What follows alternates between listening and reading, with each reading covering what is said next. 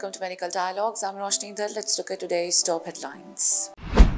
Have you ever heard about baby without sperm and egg? An extraordinary achievement with the potential to revolutionize the field of human reproduction, scientists have achieved a groundbreaking feat by generating synthetic human embryos using stem cells. This remarkable achievement bypasses the conventional requirement of eggs and sperms in the creation of human embryos, challenging the existing norms of the vitro fertilization. The work was reportedly described in a plenary address at the International Society for Cell Research annual meeting in Boston. However, the full details of the latest work from the Cambridge Caltech lab are yet to be published in a journal paper. Simultaneously, the fundamental purpose behind this research is for scientists to unravel the enigmatic black box phase of human development. This period encompasses the time between approximately 16 or 17 days post fertilization until over a week after the embryo securely attaches itself to the uterine lining. Currently, scientific regulations permit the cultivation of embryos in laboratory settings for a maximum duration of 14 days. Beyond this limit, researchers rely on pregnancy scans and donated embryos to gain insights into the subsequent stages of development.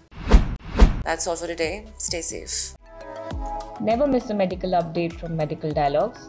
Like, subscribe, and press the bell icon.